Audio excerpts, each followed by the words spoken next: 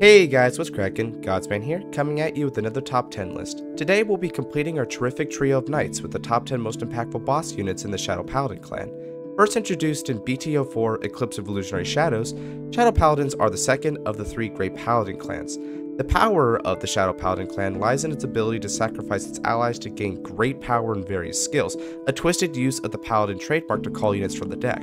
Being piloted by the first antagonist and fan favorite character Ren Suzugamori, Shadow Paladins were an instant fan favorite clan with a strong following to this day for both the aesthetic and playstyle of the clan, as well as the characters associated with it. Initially released to little meta success, Shadows quickly grew to dominance, overshadowing, pun intended, most clans in the game due to its superior fundamentals and devastating vanguard abilities. And today's video, we're going to take a close look at some of those vanguards, specifically the top 10 boss units which most impacted the clan's success, and discuss why these cards were so good. Before we begin though, I want to stress that these cards will not be judged purely based on strength, rather on the level of impact they had in their respective formats, as well as the longevity of their use. This is important, as the Shadow Paladin clan has more than their fair share of strong bosses, easily enough to make a top 20 in fact, so it will be their lasting contributions and historical significance as a card which will be of the utmost importance for today's list. Finally, I may sound a bit under the weather for this video, had no more time to record due to me moving soon, so I apologize for that, but I'll try my best to keep a normal tone.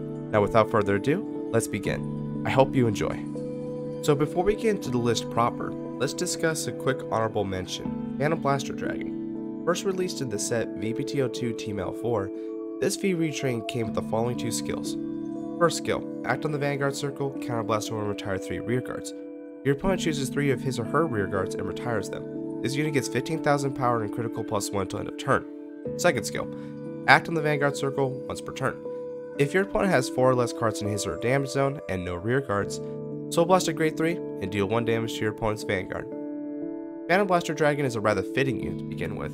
Being the first boss unit in the original iteration of the clan, as well as its first real boss unit in both the V and D eras, PBD is an iconic and historic unit. That said, PBD was not historically good competitively speaking, but it does give a good overview of the Blaster archetype, a version of Shadow Paladins that specializes in field control and deadly Vanguard swings. This is perfectly exemplified in PBD's skills, which mutually wipes the field and gains both a large power up and a damage ping to pressure the opponent.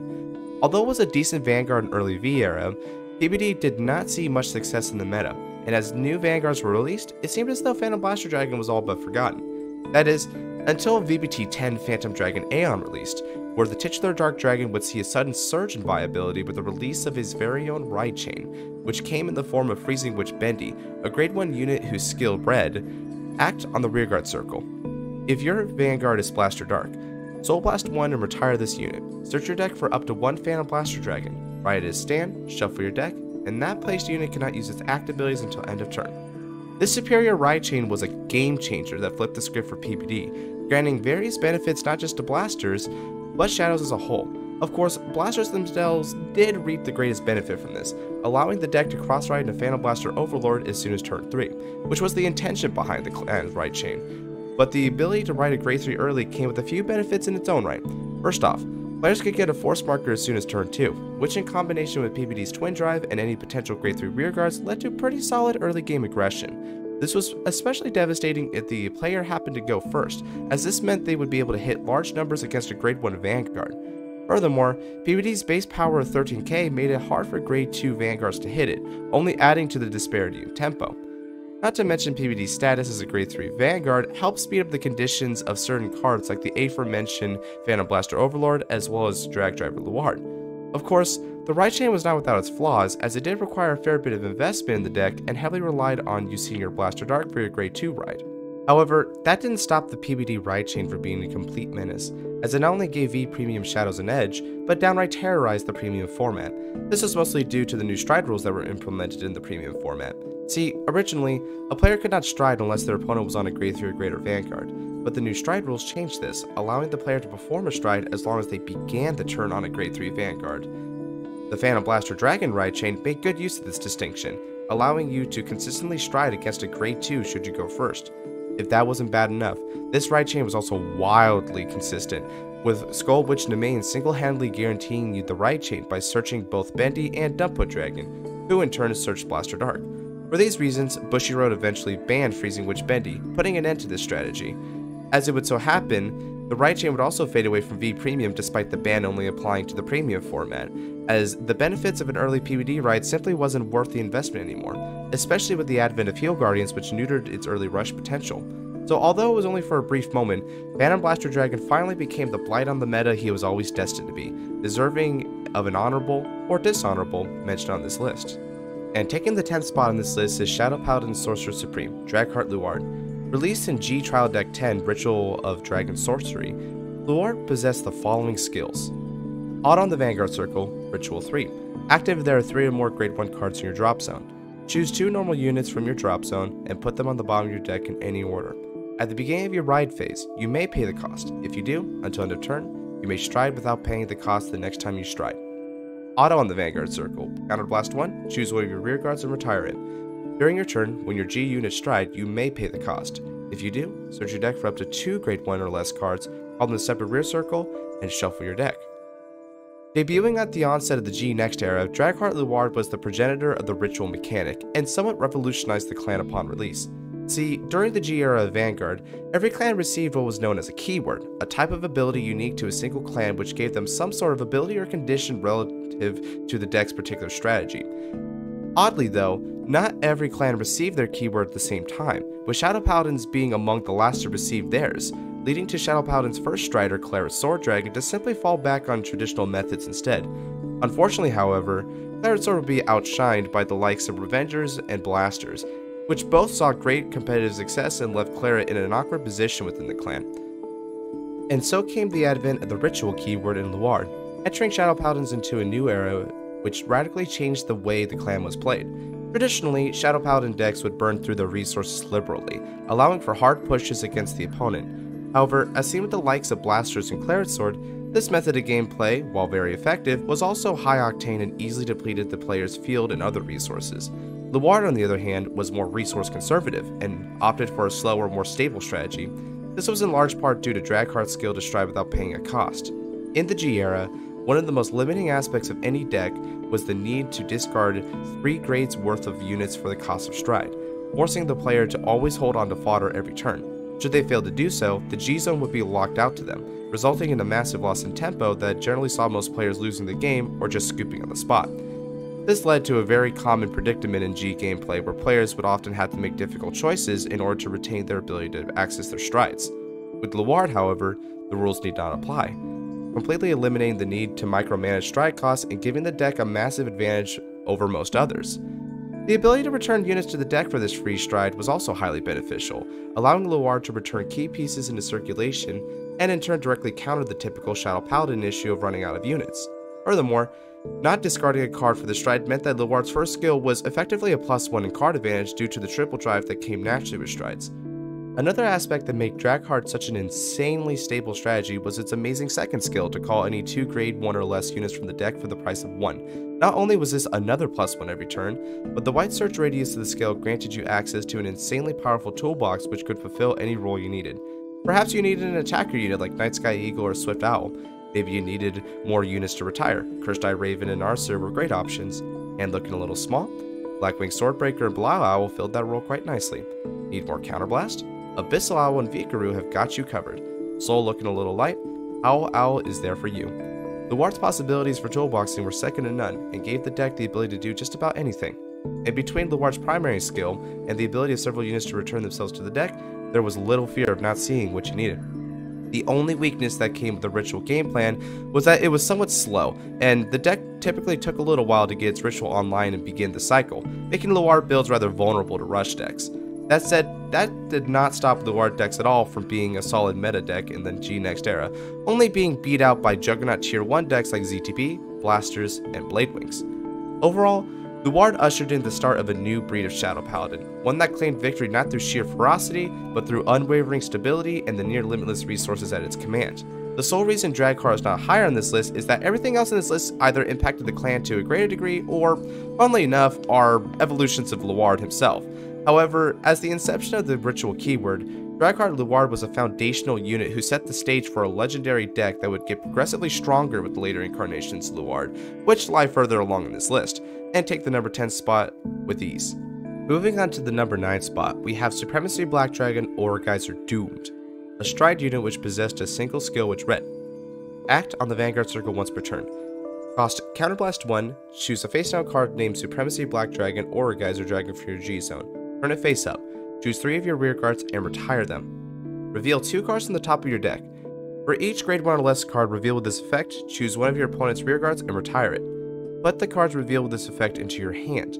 If the number of face-up cards named Supremacy Black Dragon Aurageyser Dragon in your G-Zone is 3 or more, this unit gets critical plus 1 until end of turn.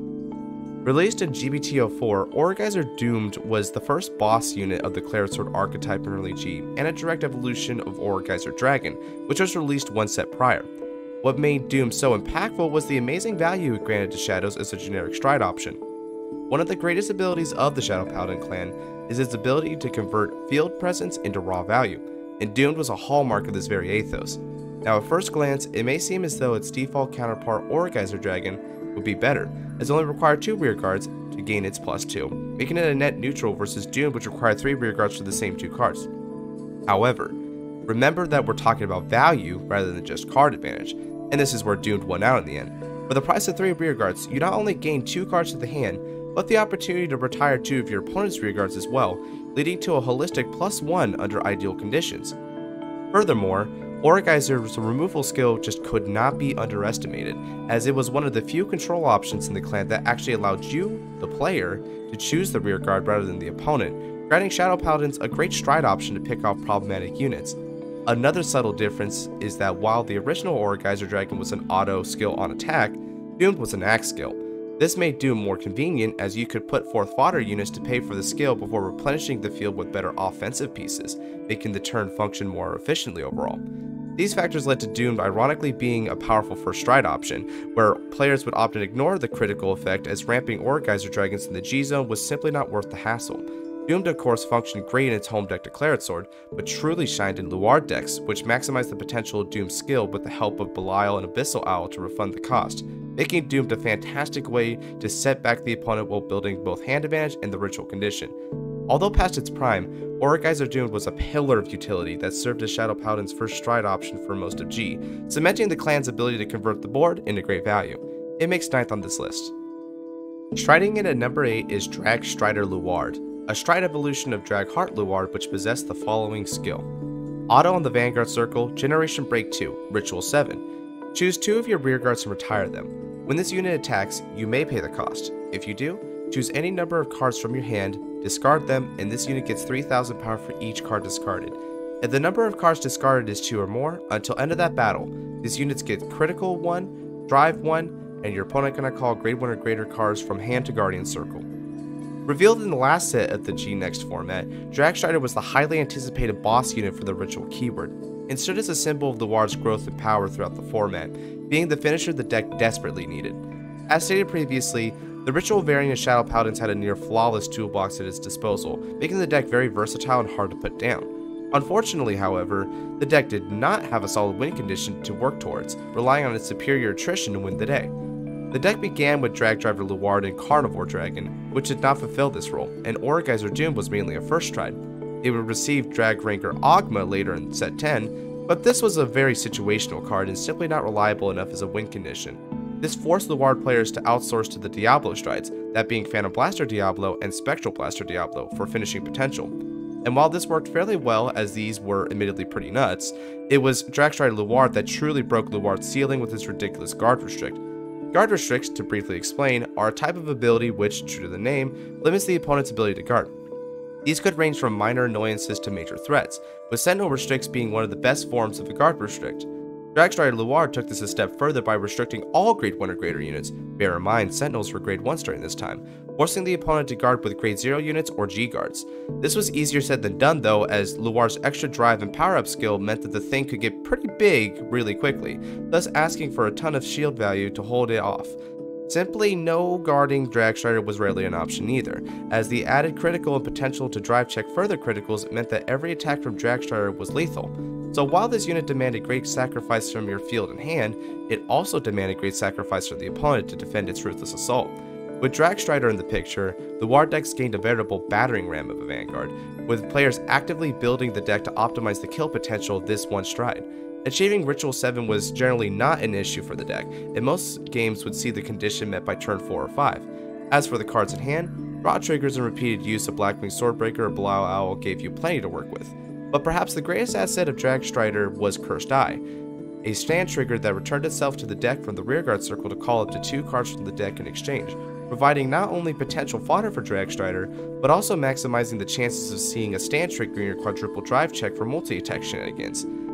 This allowed the deck to abuse certain offensive pieces with multiple swings, such as Grosnate, who was a massive beater, or Morfessa, who had a threatening on-hit skill. When the GZ era rolled around, Luard decks also got access to their most powerful Grade 2 in Drag Fencer Dagda, a card which could call two Grade 1s mid-battle every time it attacked. On their own, these rearguard multi-attacks would be annoying, but not necessarily game-ending. But when the opponent had to commit their best guards to fend off Dragstrider, these additional rearguard swings would suddenly become very overwhelming. Interestingly, Dragstrider also happened to be generically viable, granting the whole of the clan a solid avenue for finishing off the opponent, Third decks benefited from this greatly, as their propensity to call grade 1s from the deck with Revolt and Helheim skills made Ritual 7 very easy to achieve, and necessary too, since it lacked a finisher native to the strategy. With this single stride, the end goal of Luard's ritual was unveiled, that being a single devastating blow which allowed you to put your entire being to field this all-out attack. Dragstrider was an amazingly potent unit that proved to be one of the clan's best game enders, only being beat out by a couple other stride options due to their greater overall impact to the clan as a whole. Still, it lands at a solid 8 on this list. And now galloping in at number 7 is Illusionary Revenger, Mordred Phantom. This is a V retrain released in the infamous set VBT06 Phantasmal Seed Restoration, and possesses the following two skills. First off, Auto on the Vanguard Circle. When your Blaster Dark is placed on rear circle, you get an imaginary gift force. The second skill then stated Auto on the Vanguard Circle. When it attacks, if your opponent's Vanguard is grade 3 or greater, counterblast 1, stand all of your Blaster Dark, and they get 10,000 power until end of turn. The first Revenger of the list, this version of Mordred Phantom was released in the middle of the V era to fair meta success, topping several BCS championships in 2019. However, it wasn't Mordred's tenure in the V series meta that put it on this list, rather the nature of his card design that reverberated throughout the format. When it came to the downfall of the V Premium format, there were many gameplay issues which played a role, two of the most prominent among them being the excessive marker spam found in decks of the era, as well as the linear card design which usually boiled down to restanding units for beatdown. Mordred Phantom embodied both of these attributes in V card design, generating massive quantities of force markers to beef up your blaster darks, which then swung twice each under these markers, gaining an extra 10k power to boot on the second swing due to Mordred's skill. Mordred decks also abused force markers in a different way, stacking them on a circle with Danger Lunge Dragon to capitalize on the card's Sentinel Restrict critical a la Dragstrider style.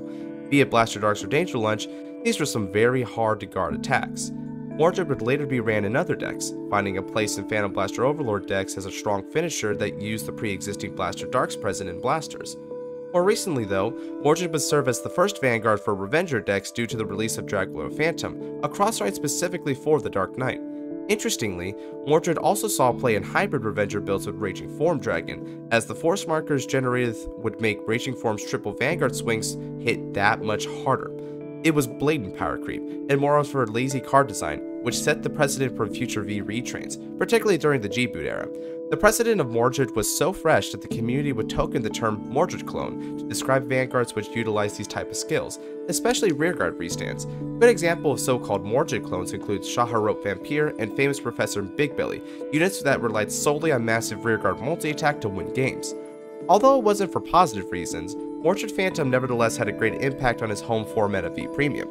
So, for serving as a strong asset to multiple Shadow Paladin decks, and for being so iconically absurd that it led to the creation of the Mordred clone term in the Vanguard community, the Dark Knight rests his steed at 7th on this list. And now descending into the number 6 spot is my avatar, Revenger Raging Form Dragon. A monster of a card, Raging Form possesses the following three skills.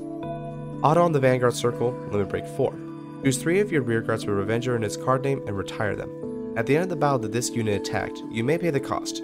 If you do, use up to one Revenger Raging Form Dragon from your hand, ride it as stand, and choose your Vanguard and that unit gets 10,000 power until end of turn. Second skill, Auto on the Vanguard Circle, Counterblast 1. When this unit attacks, you may pay the cost. If you do, it gets 3,000 power until end of that battle. Third skill, continues on the Vanguard or Rearguard Circle, Lord.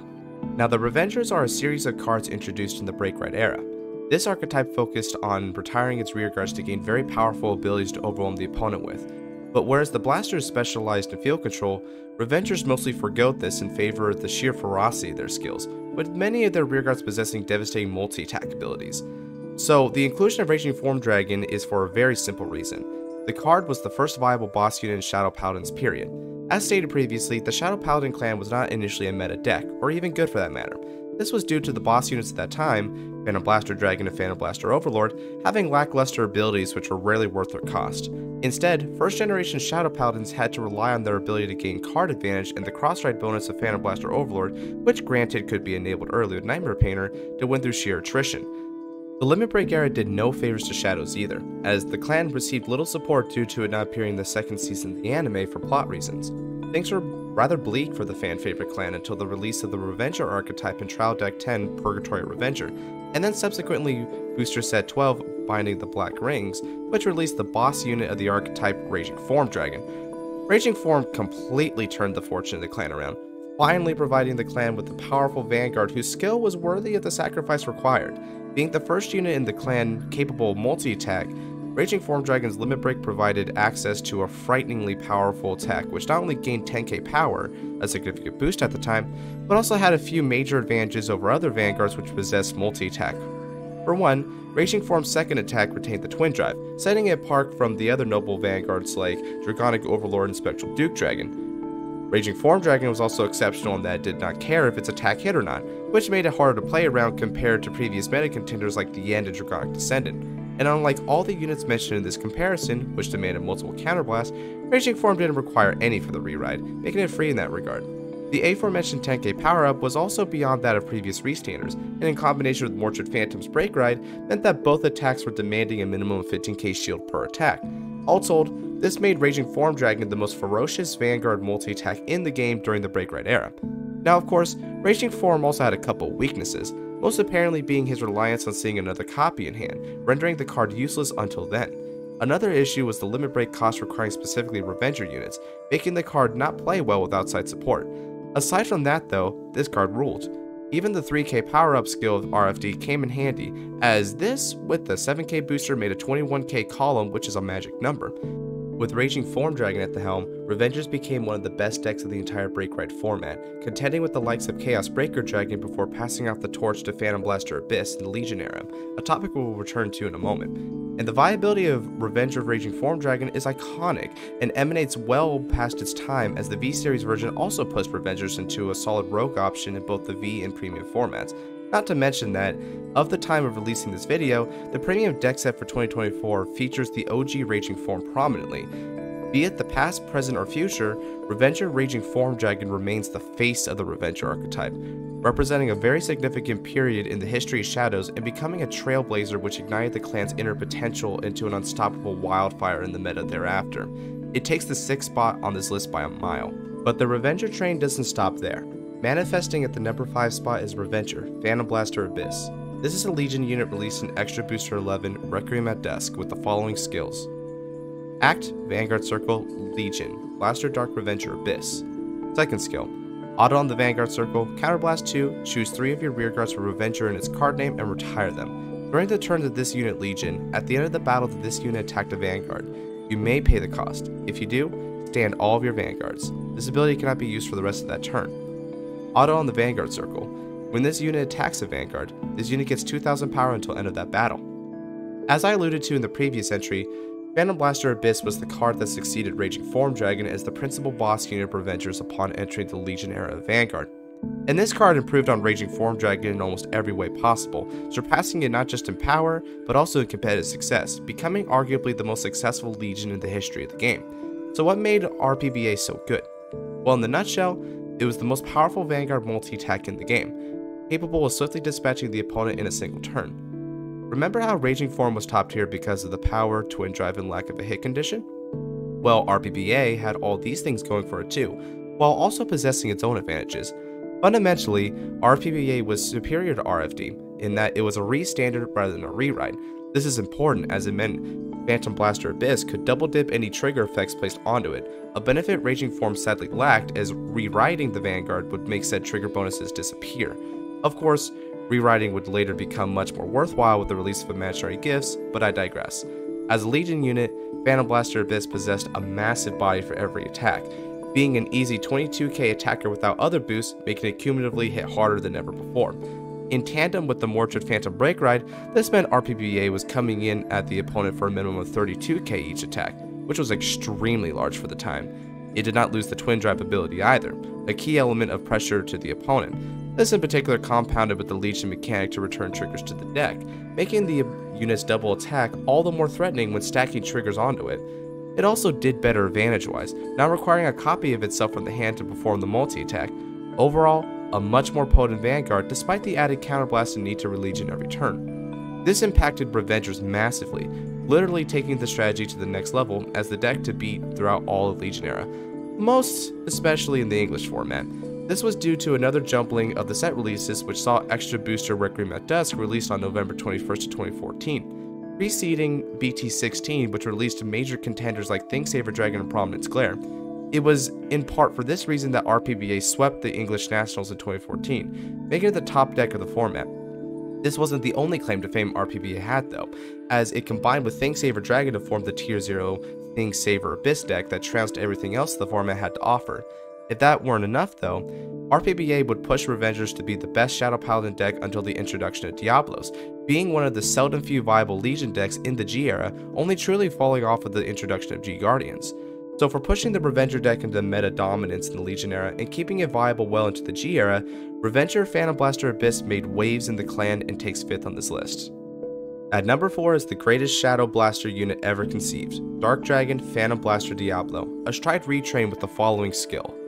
Act on the Vanguard Circle once per turn, counterblast one and choose a face down card named Dark Dragon Phantom Blaster Diablo from your G zone and turn it face up. If the number of cards face up in your G zone is 2 or more, until end of turn, this unit gets 10,000 power, critical plus 1, and the following skill. Auto on the Vanguard Circle.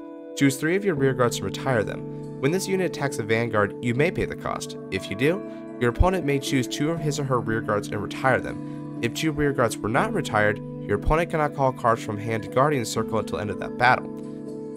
Coming out as the boss unit of the very successful Ren Suzugamori Legend deck, Phantom Blaster Diablo immediately warped the metagame of the G era, becoming the most powerful stride in Vanguard at the time upon its release. And how could it not, as this single card completely broke the format, once again turning Shadow Paladin into the clan to beat. As we discussed with Dragstrider Luard, Guard Restricts are one of the most powerful abilities in the game, being a winning strategy for a multitude of decks throughout the years, and Phantom Blaster Diablo possessed one of the most powerful Guard Restricts ever created, one that denied virtually all forms of guarding during early G. Now at first glance, there would appear to be a glaring weakness with this card, as it only gets the guard restrict if the opponent is unable to retire two rear guards. Simple enough, right?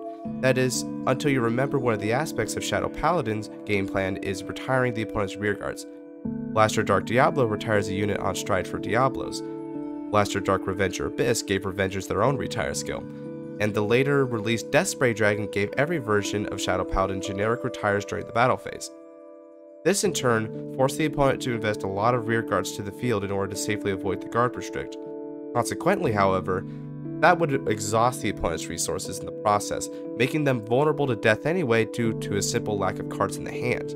Phantom Blaster Diablo was a catch-22 unit that disrupted the very way the game was played, forcing the opponent to maintain a full field at all times or risk losing on the spot.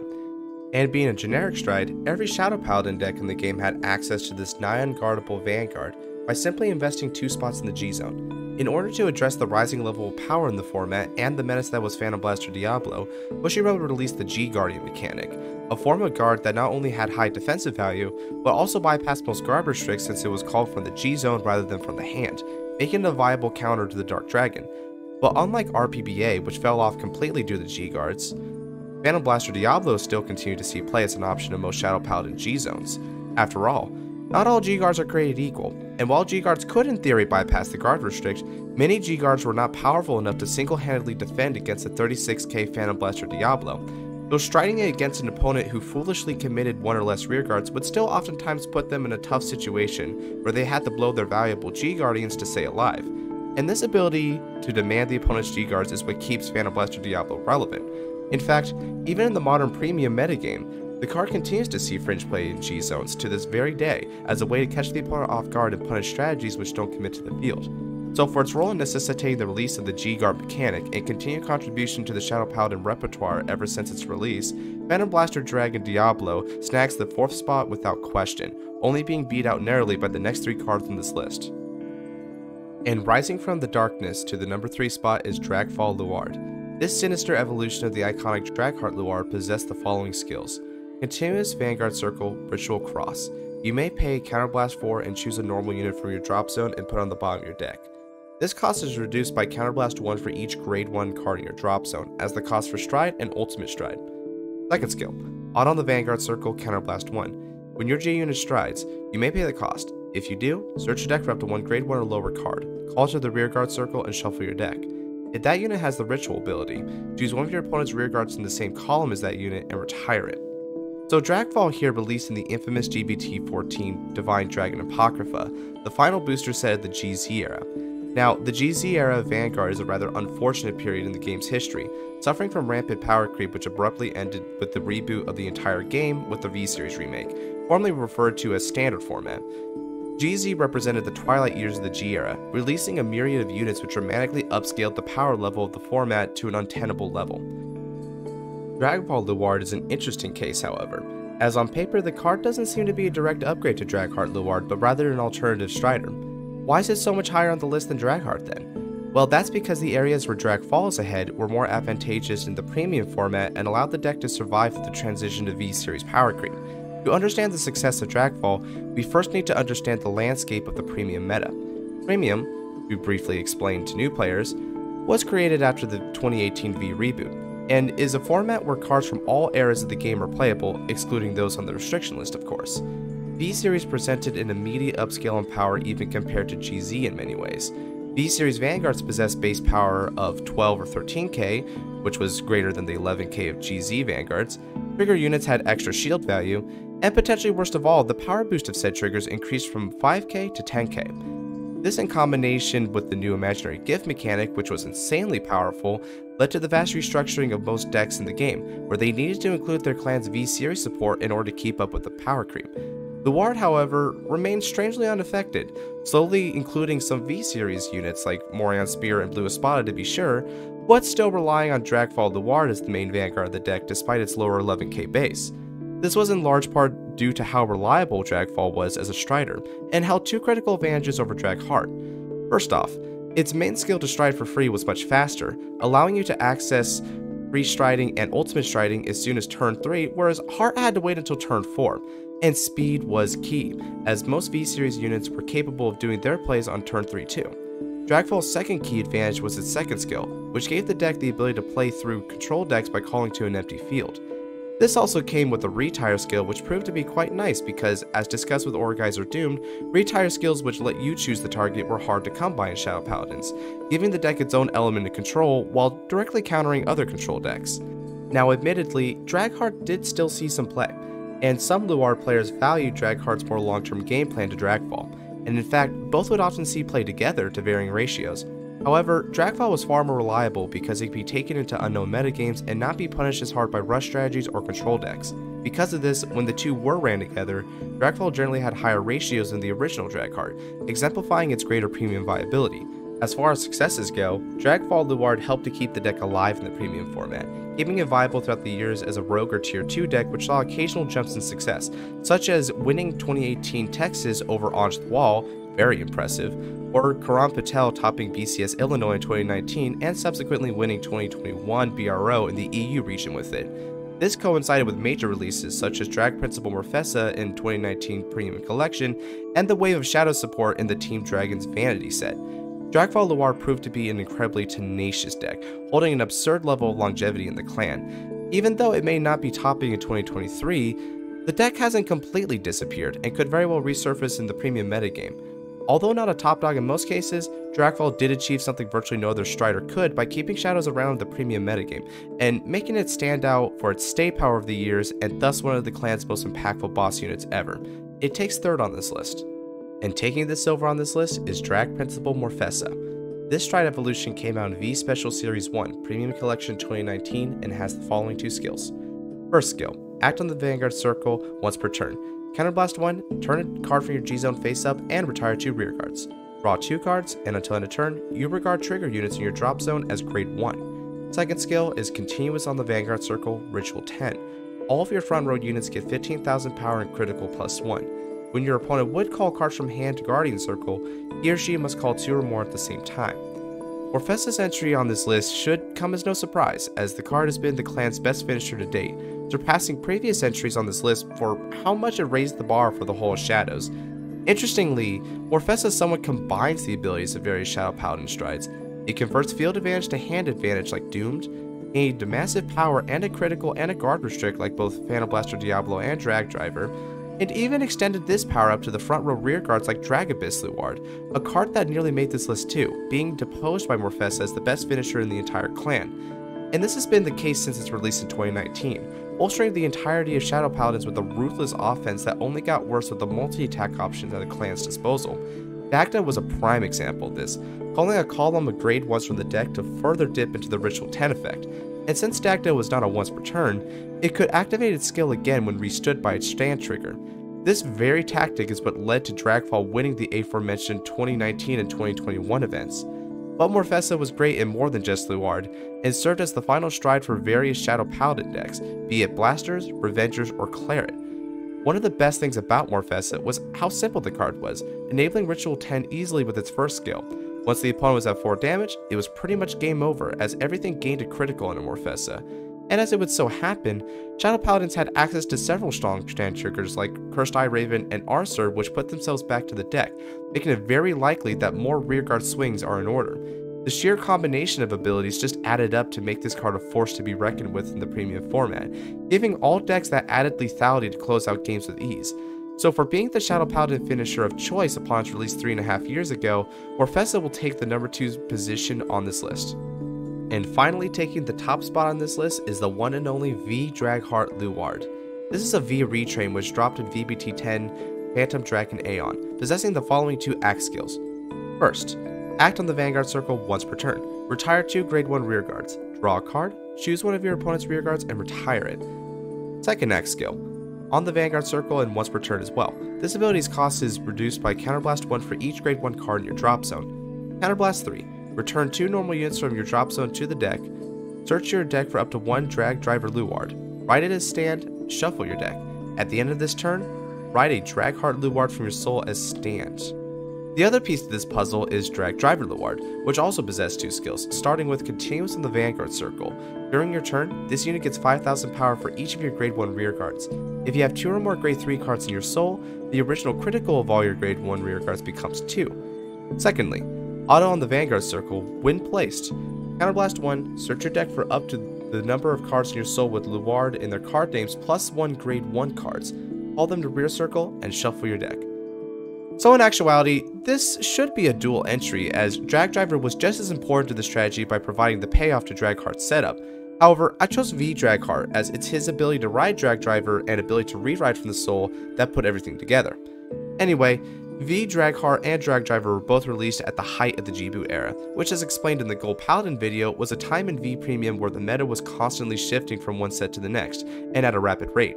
Dragheart was no exception. In fact, he was the prime example, immediately taking the meta by storm upon release. So why does Dragheart take the top spot of this list? Well, in addition to being a tier 0 deck on release, which still sees competitive play to this day mind you, Luard is regarded as one of the most meta-breaking decks that almost killed the game, leading to a real-world controversy due to how strong the strategy was. See, shortly after its release, Dragheart Luard was choice restricted with Skullwitch Nemain, one of the clan's most powerful grade 1s. But this wasn't just any restriction, but rather an emergency restriction, which was incredibly rare and unexpected. Unfortunately, it was so quick and unexpected that most shops had already invested in domains only for them to plummet in value almost immediately and without warning. This led to a lot of shops no longer selling Vanguard product in their stores, dealing a big blow to the game of Vanguard, which had lost the trust of many store owners and thus their business as well. This isn't the only thing Luard would be remembered for, however, as in just a few sets after its release, the game of Vanguard announced its second reboot. As a result, many in the community pinned part of the blame on Luard's dramatic meta dominance, saying that Luard had quote unquote killed the game. A sore sentiment to be sure, but one with an incredible amount of stay power, leading to concerns when the Stride deck set for Luard was announced for D Standard, once again claiming that Luard had come to kill the game. These worries would prove to be unfounded when the deck released only to fair meta success, but it still goes to show how embedded Luard's impact was on the V format and on the community itself, acting as a sort of boogeyman for some. But beyond community superstition, V Luard was still an absolute powerhouse, as the deck would see prolific meta success to this very day. The biggest asset of V Luard lies in its ability to generate mass quantities of force markers, with 3 markers being obtained on turn 3 by riding Dragheart into Drag Driver and then back into Dragheart at the end of the turn. Every turn after this would grant a minimum of two additional markers due to this ride switching. That made Luard one of the most effective force marker generators in the entire game, being a challenge only by the likes of Mordred Phantom, Majesty Lord Blaster, and Astral Poets. That isn't all though, as these force markers generally went to the front row rearguard circles, where said rearguards gained a critical due to Drag Driver's effect, leading to absurdly large columns with extra damage. If that weren't enough, Cards such as Drag Wizard Morfessa, Apocalypse Bat, and Abyss Router could all be comboed to enable further multi-attacks with these same power buffs. Despite being released in 2020, Luard remains a behemoth of the deck, receiving tops in the V-Series metagame even 3 years later. The Dragheart has also seen some premium success, being a rival to Dragfall builds due to its access to force markers and swift beatdown. It's an absolutely legendary unit, one that represents the pinnacle of achievement in the Shadow Paladin clan, standing atop all others as the most impactful boss unit in Shadow Paladins. And that was the list. Shadow Paladins have had an interesting journey in the history of the game, where despite its lackluster start, would go on to be perhaps the most meta-successful clan of all time. Despite not usually being the best deck of the format, Shadow Paladins are consistently viable in just about every format they're in, with the Revenger and Luard decks being the clear two favorites among its many archetypes. But even when it doesn't take the spotlight, the Black Fang of the Shadow Paladin clan will continue to bite from the darkness, menacing all the clans of Cray. Anyway, if you like this kind of content, then let me know what other top 10 lists you would like me to do.